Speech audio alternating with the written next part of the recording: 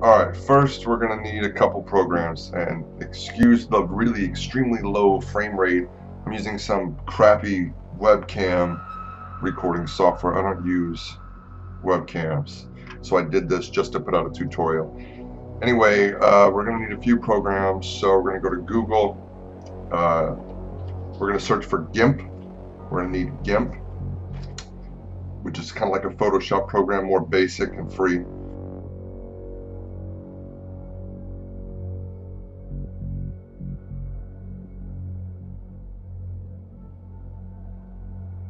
And then we're going to need a plugin for GIMP to open DDS files, which is what the Bethesda Fallout files come in as DDS files, or, or the images file, the image files anyway.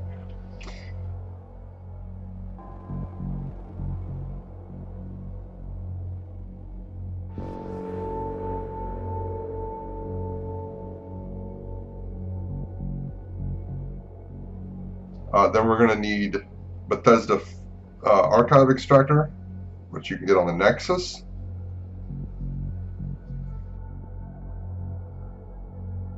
Um, download that manually.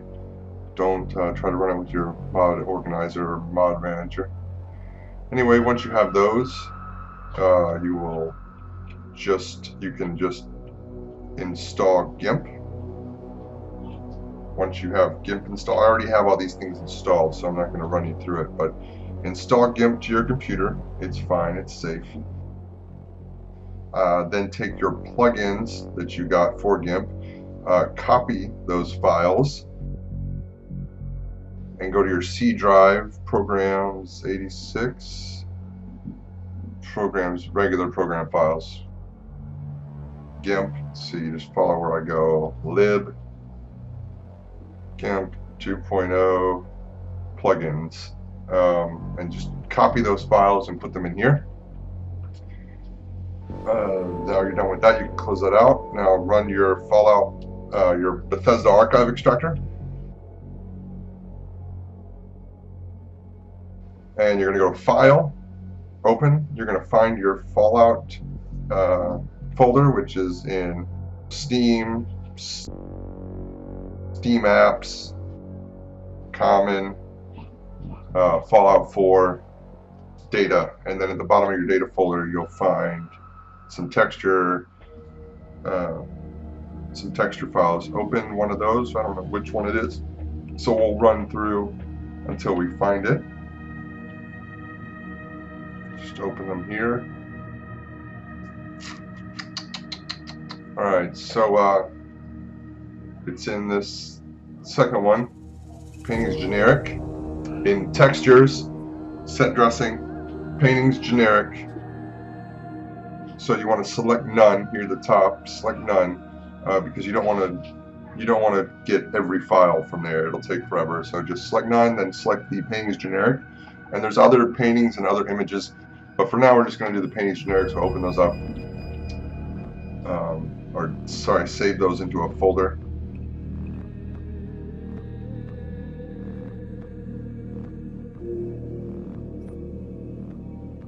Once you have those saved into a folder, you will come down here to GIMP, open GIMP. now, wherever that folder is, open that. You'll see your paintings, bring them down. You can't open them because they're DDS files. Only GIMP can open them, which is why you have GIMP. Do not load mipmaps. Uh, that will fuck it everything up. You'll have like 30 files in here. Don't load mipmaps. So just uncheck that. Every time you do this, uncheck load mipmaps. Now this is your file. This is your DDS file. This is what it'll look like in game, uh, minus the frame. That doesn't show. This is just the texture image, obviously. Down here, right-click Properties, Details, and you can see the you can see the size of your image, and that's very important. If you get one pixel off uh, the wrong size, the whole thing is fucked.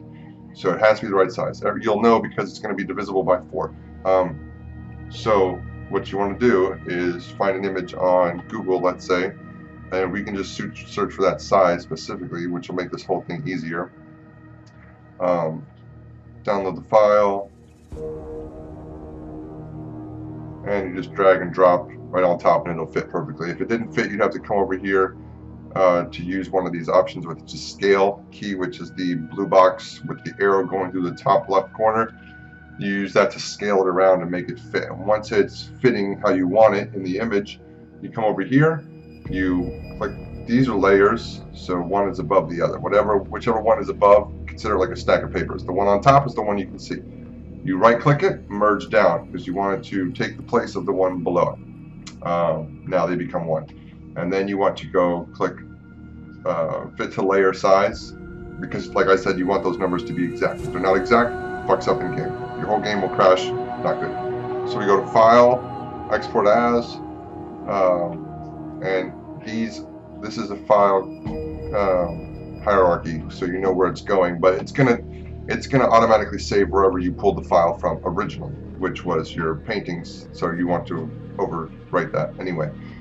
So that's where it's to go. Yes, you're to overwrite it. Now, it's going to have these little options. For compression, you want the second option, and then down here at the bottom, you want to generate bitmaps. This is important. Again, it won't work if you don't do these two things very specific every time. And then you're done. You can close out GIMP completely. Uh, and now you have your file, your picture will be in game. Well, as soon as you take this folder. So once you've done all these, uh, you're going to go back until you have the textures folder.